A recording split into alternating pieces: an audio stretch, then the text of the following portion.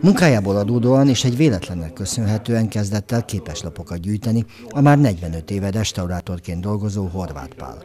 Bonyhadon a Völgységi Múzeumban nyílt kiállítása Papír a képeslapon címmel. Mindig valamit gyűjtöttem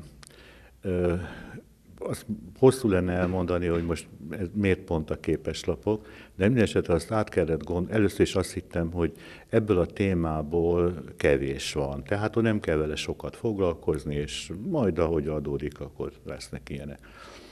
A másik az volt, hogy ne, én nem gyűjtetek olyat, ami a könyvtár gyűjtő körébe tartozik tulajdonképpen, szóval ez nagyon furcsa lenne. Na most ez nem tartozik a könyvtári gyűjtőkörbe, ezt a témát nem gyűjti a könyvtár.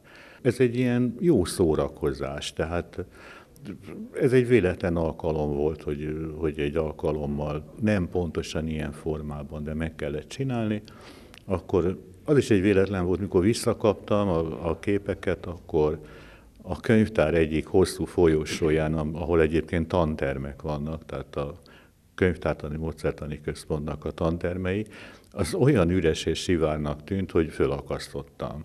És akkor onnan kezdve mindenki jött, hogy jaj, milyen érdekes, meg ez a tiéd, meg nem is tudtam, hogy te ezt gyűjtöd. Sőt, előtte is kaptam a kollégáktól ilyen lapokat, tehát ez nem csak az én gyűjteményem, hanem ezt küldik nekem külföldről, születés névnapra ilyen lapokat kapok, hogy hát, ha nincs még meg. Most itt megjegyzem, hogy most már olyan 2000 van körülbelül.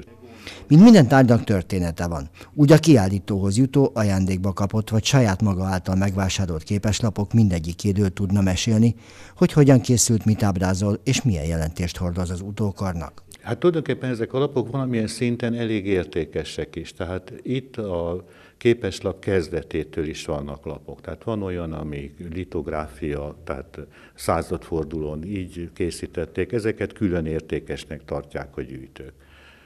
Vagy vannak még korábbiak, amik, hát ezek fényképek tulajdonképpen, de kézzel van színezve képeslap kiadás hajnala volt, vagy a fénykor, amikor mindenki képeslapot gyűjtött. Tehát albumokba, gyűjtötték kislányok, gyerekek, fiatal nők, és, és hát ez egy óriási dolog volt akkor.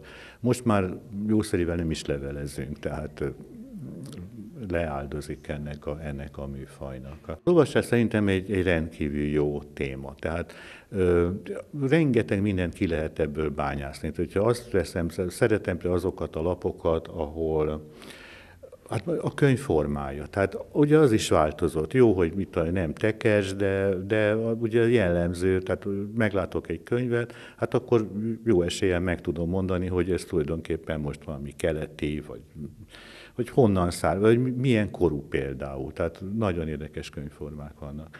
Vagy az a millió, ahol olvasnak. Tehát az, az, egy, az egy külön érdekesség, hogy, hogy vannak olyan lapok, mondjuk ezek is inkább fényképek, hogy ül valaki a szobában és olvas, de a háttérben ott van az újonnan megvett kékes televízió, vagy neki támaszkodik valaki egy autónak, és olvas. Mert gondolták, hogy ez olyan cseles dolog, hogy megmutatjuk, hogy autónk is van, és a mit tudom én, a papa még szereti a népsportot is olvasgatni. Az akár kézzel festett vagy fényképezett képeslapok mindegyikében az olvasás megjelenítése a közös elem. A gyűjtő szerint az olvasás mindenkorban, a jelenkorban is megjelenik az emberek életében. Mivel az olvasásnak köszönhetően jutunk információhoz, tartjuk a kapcsolatot rokonokkal, ismerősökkel. Mivel számos képeslap fénykép alapú, a tárlat kielégészült a múzeum fényképezőgép gyűjteményével, illetve egy 18. századi restaurált lemezjátszó is helyet kapott. Mindez összhangban volt a képeslapokon megjelent kor sajátosságaival. Mi a gyűjtőköri leírás ennek az egésznek? Olvasson, de csak könyvet olvasson. Kottát, levelet, pénzt, ilyeneket nem. A levélolvasás az teljesen más. A kotta, én nem tudok kottát olvasni, pénzem meg nincs, vagy épp csak annyi, hogy ezt tudom finanszírozni. De borzasztóan tetszik, vagy, vagy közben találtam rá erre, hogy amikor val- tehát amatőr fényképekről van szó, amik néha nagyon profik, mert nem mindegyik beállított egy elkapott pillanat. De hoztam a táskámban van, mert e, tehát ez lett volna a huszadik ilyen tábla, csak mondom, nem fért el a folyosón.